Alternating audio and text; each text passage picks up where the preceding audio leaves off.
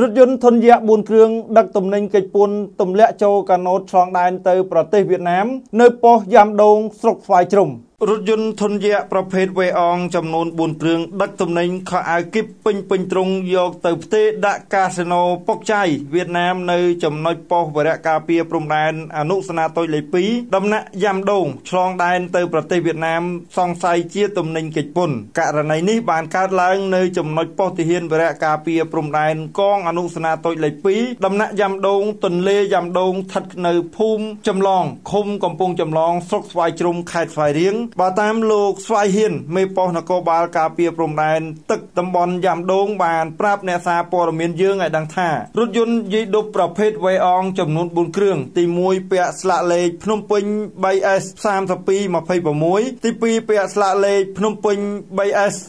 1911និងទី3ពាក់ស្លាកលេខកំពង់ចាម 3A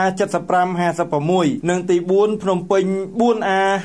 5790ដឹកតំណែងខោអាវគីបមកពីរាជធានីភ្នំពេញមកផ្ទេរដាក់ត្រាក់ទ័រដឹកទៅដាក់កាស៊ីណូពុកចៃវៀតណាមចំនួន2គ្រឿងនៅចំណុចកំពង់ទឹកប៉ុស្តិ៍វរៈការពារព្រំដែនអនុស្នាតូចលេខ2ដំណាក់យ៉ាំដូងឆ្លងដែនទៅប្រទេសវៀតណាមនៅពេលដែលអ្នកសារព័ត៌មានយើងសួរថាហេតុអ្វីបានជាផ្ទេរតំណែងនៅពេលយប់តើតំណែងទាំងអស់នេះជាតំណែងកិច្ចពន្ធឬសមត្ថកិច្ចឆ្លើយថាបើតាមម្ចាស់តំណែងប្រាប់ថាពួកគេបានបង់ពន្ធរួចរាល់ហើយក៏ប៉ុន្តែដោយពេលថ្ងៃមានភ្លៀងទើបខកខានដល់ពេលយប់ចំណែកមហាជនវិញបានលើកឡើងថាពួកគេមានការព្រួយបារម្ភយ៉ាងខ្លាំងអំពីផ្លូវថ្នល់ដោយរថយន្តដឹកទំនិញធុនយក្សប្រភេទវេអងនេះដឹកទំនិញធ្ងន់ក្នុងមួយយប់មួយយប់ចាប់ពី8គ្រឿងទៅ10គ្រឿងហើយថ្នល់មួយខ្សែនេះពីមុនជាផ្លូវលំទើបតែរាជរដ្ឋាភិបាលផ្ដល់ជាផ្លូវកៅស៊ូកៅស៊ូអ៊ុតស្ដាងសម្រាប់តែរថយន្តធុនស្រាលនិង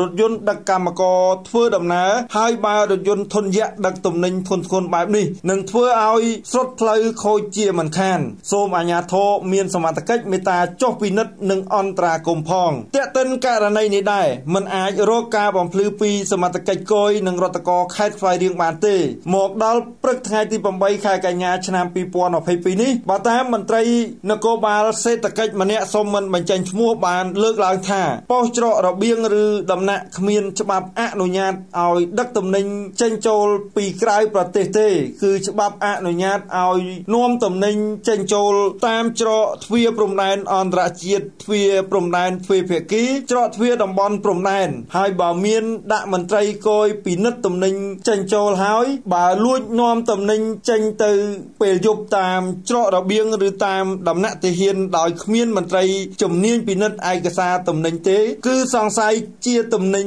កិច្ចពន្ធ Ycam អ៊ីនធឺណិតជម្រើសដ៏ពេញនិយមសម្រាប់គេហដ្ឋាននិងអាជីវកម្មគ្រប់ប្រភេទទំនាក់ទំនងតាមរយៈលេខទូរស័ព្ទ